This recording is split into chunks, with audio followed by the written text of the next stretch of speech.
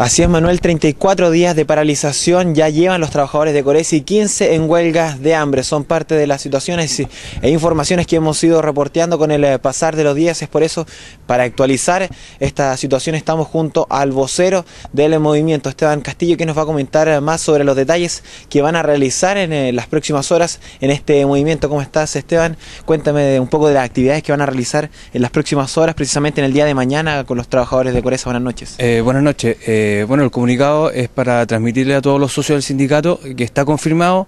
Eh, mañana, un cuarto para las 7 de la mañana, salen las micros de la plaza de Yoyeo, con dirección a la planta. por otro lado, mañana se reúnen ambas partes, así como empresa y sindicato, a las 18 horas, para, esperemos, esto llegar, llegue a un acuerdo.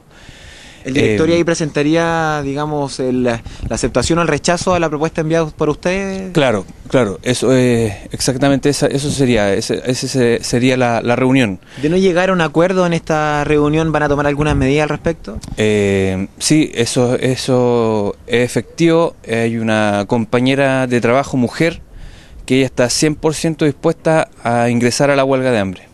Por el momento nos vamos a reservar el nombre de ella, pero está 100% confirmado. Ella tomó la decisión hoy día, se acercó a los dirigentes y ella dice que si esto no, se arregla luego, entraría a la huelga de hambre. ¿Y están a la espera de que esta situación se regularice en lo, antes posible? Claro, claro.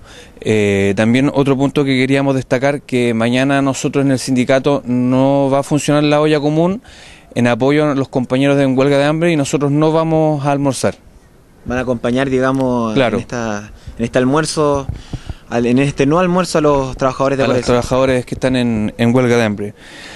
Así que un llamado a los compañeros del sindicato a tener fuerza, a tener ánimo, a no decaer y a seguir luchando por nuestra dignidad de trabajadores, por la dignidad de nuestras esposas, nuestros hijos y por sobre todo por la dignidad de los compañeros en huelga de hambre. ¿Cómo has visto a los compañeros que están en huelga de hambre? Mira, ellos se encuentran bastante mm, demacrados, por decirlo así, aunque suene un poco fuerte, eh, han, perdido bastante peso, pero hay una fuerza que se siente al, interior de, la sede provincial de la CUT, que tú entras ahí, hay una fuerza, una cosa muy especial que se siente ahí.